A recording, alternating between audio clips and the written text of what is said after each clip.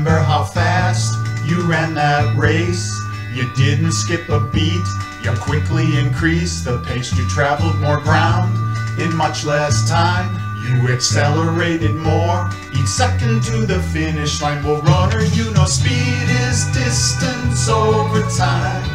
Meters per second's an example so fine. Velocity small cause there's direction implied.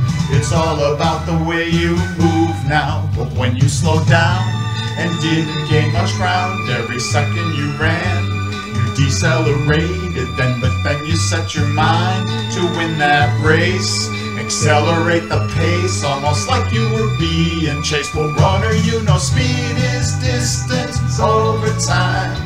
Meters per second's an example so fine. Velocity small cause there's direction implied. It's all about the way you move now.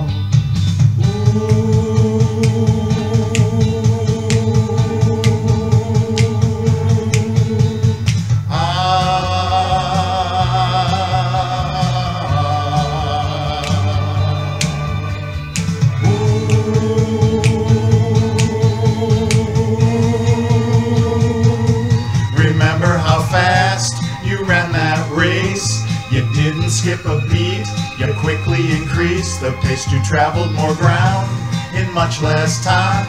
You accelerated more each second to the finish line. Well, runner, you know speed is distance over time. Meters per second's an example so fine. Velocity small cause there's direction implied.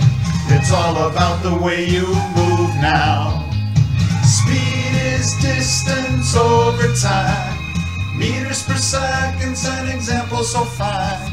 Velocity's small cause there's direction implied. Speed is distance over time.